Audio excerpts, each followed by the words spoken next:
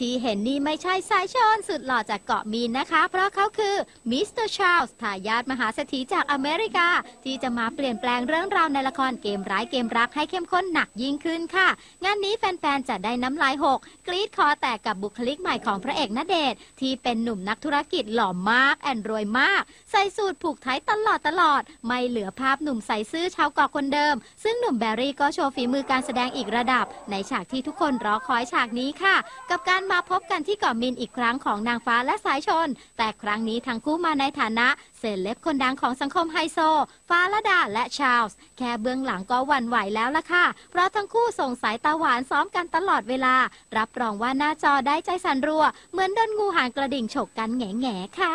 เป็นชาลส์คุณชาลส์ครับผมก็เป็นผู้บริหารสายการบิน Seven Sea นี้ก็จะเป็น ครีเอทีฟค่ะเอ่อทำงานเกี่ยวกับโฆษณาอะไรแบบเนี้ยค่ะ แล้วพอดีคุณชาร์ลส์เป็น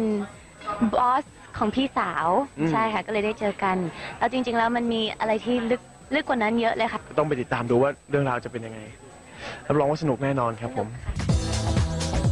ถึงในละครเกมร้ายเกมรักช่วงนี้หนุ่มสายชนกับน้องนางฟ้าจะย้ายจากเกาะมินพลิก look กลายเป็นหนุ่มฝรั่งสุดหล่อ import จากนอกนายชาลส์มาเริ่มปะทะทวงคืนรักกับสาวชาวกรุงขี้ลืมฟ้าลดา ให้คนดูได้รอลุ้นเอาใจช่วยกันแล้ว วันนี้ยังมากับมาดใหม่แนวจิกกัดน่ารักน่าหยิกเหมือนเดิม กับการถ่ายแฟชั่นขึ้นปกนิตยสารสุดสัปดาห์ ในแนวแอฟริกันอินเดียนแดง สีสันสดใสสะดุดตาค่ะ งานนี้หนุ่มณเดชนกับสาวยายาเขาบอกว่า อยากมอบความสุขสดชื่นให้กับแฟนๆทุกครั้งที่เจอหน้ากัน แล้วยังขอส่งกำลังใจให้กับแฟนๆ ผู้ประสบภัยน้ำท่วมที่ตอนนี้ หนุ่มณเดชน์ก็กลายเป็นผู้ประสบภัยเหมือนกันแล้วล่ะค่ะ